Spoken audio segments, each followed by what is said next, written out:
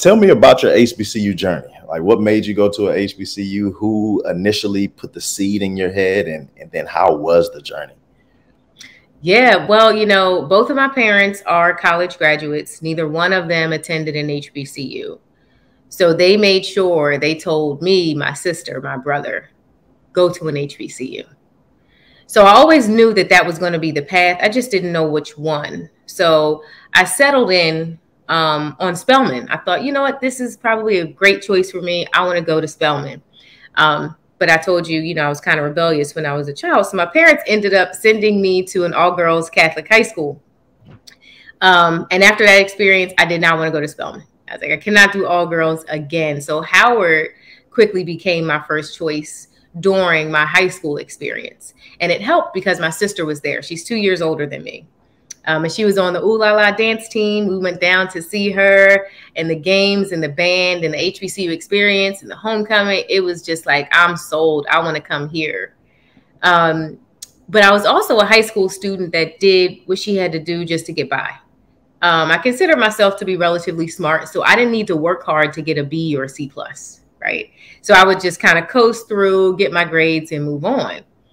Um, so when I initially applied to Howard, I was rejected. I got a rejection letter. And um, in my mind at that time, I'm like, I think they made a mistake.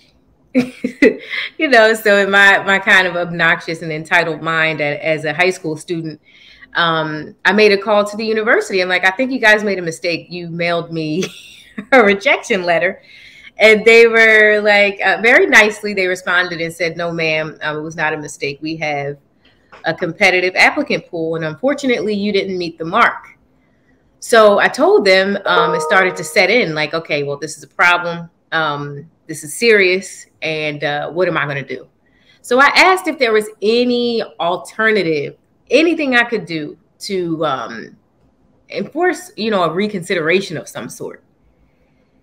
So they said you have one last recourse. You can write us a letter, advocate for your admission. We'll review it and let you know and this was that whole attorney like spirit that I had in me. You know, I'm a natural advocate for myself and other people. I question everything.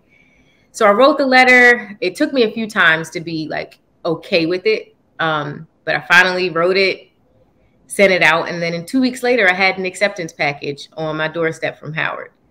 So I knew I knew that this was going to be a special journey. Um, I've learned over the course of time that nothing that's worth it will be easy. Um, and, you know, just advocating for myself in that moment, it taught me so much. And uh, I was so excited to just get the journey started. So when I got to Howard, I, I jumped right in. I um, was active in a bunch of organizations. Um, I became the vice chair of Howard Homecoming.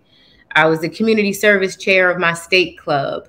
Um, I was initiated at Alpha Chapter Delta Sigma Theta Sorority Incorporated. You know, so I was very active and involved on campus, and it was the best decision I could have ever made in my life to advocate for myself at that moment because my um, high school counselors were encouraging, you know, University of Delaware, the state schools, and you know the smaller institutions that were local.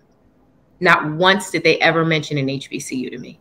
So I'm grateful for my parents who encouraged me to go in that direction.